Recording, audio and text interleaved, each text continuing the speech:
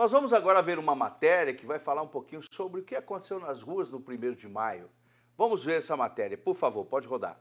O 1 de maio, Dia do Trabalhador, levaram às ruas de todo o Brasil apoiadores do pré-candidato à presidência da República, Luiz Inácio Lula da Silva, e do atual presidente Jair Messias Bolsonaro. Para Bolsonaro, as manifestações serviram como um alerta às decisões do Supremo Tribunal Federal. A exemplo, a condenação do deputado Daniel Silveira.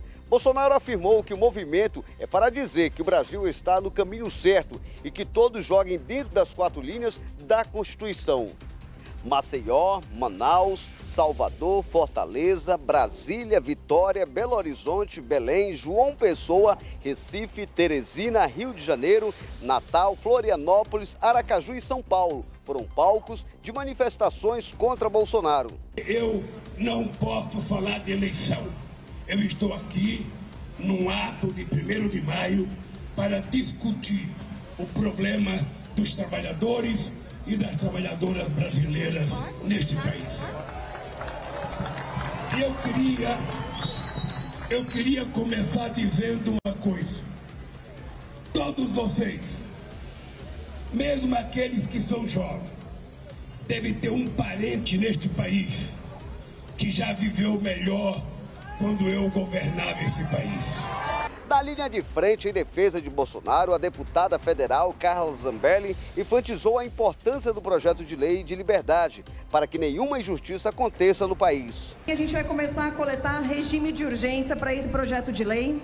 Somos 72 autores que assinaram a autoria do projeto de lei, mas a gente precisa de 171 assinaturas para poder passar em regime de urgência.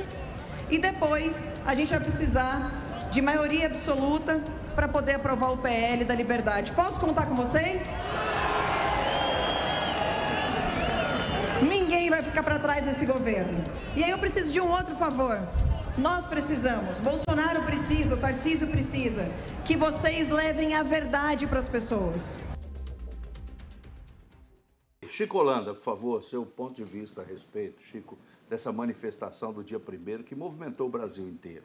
Bem, é, é um ato que se vem é, costumeiramente sendo feito no Brasil, uma demonstração que a sociedade, que a população é, assim, está antenada. Tá? Isso, graças a Deus, a, a, população ela vem a cada dia que passa, a cada ano que passa, começando a ver que a política é a única maneira de termos um país democrático.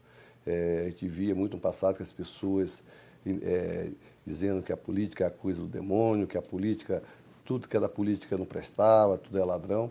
A gente já vimos hoje pessoas já discutindo política como uma forma é, de independência.